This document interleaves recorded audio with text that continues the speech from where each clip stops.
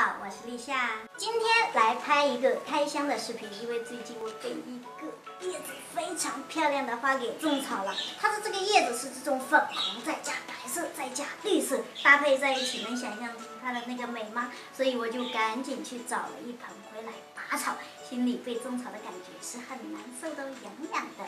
嗯，已经买回来了，在我面前，我迫不及待的想拆开看一下，是不是我心中的那个样子。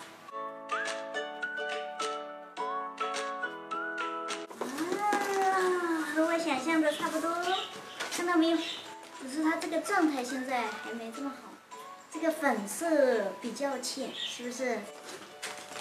哎，很接近了，很接近了，后后期就得靠我养养了。说了这么久还没说它叫什么名字，它就叫花叶落藤。这个名字是不是和这个花很搭？听到“落实”两个字就能想象它有多好养。现在来看一下这个苗情怎么样？再好养的花，如果苗不好的话，也是很难养的哦。看这个叶子，叶子还是很精神，在运输的过程中也没有折断，因为它哦，书没有折断，没打领哦，这个是藤。那如果很多枝条受伤折断的话，也是不利于它生长的。打光还是比较专业的，因为刚刚用了这个气泡柱，这样的话这个花就不容易受伤。然后这里还加了一团这个棉絮一样的东西，可以保湿。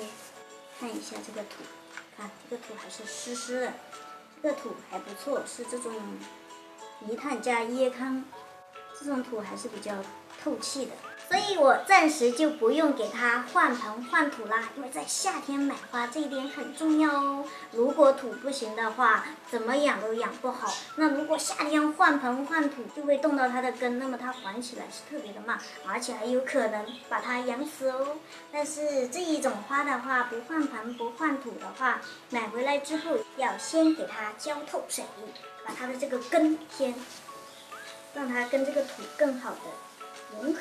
因为在运输的过程中摇啊摇，就容易把它的根给摇散，这样就浇透了，水从底下大量流出，然后把它放在阴凉的通风的地方缓个四五天左右就可以啦。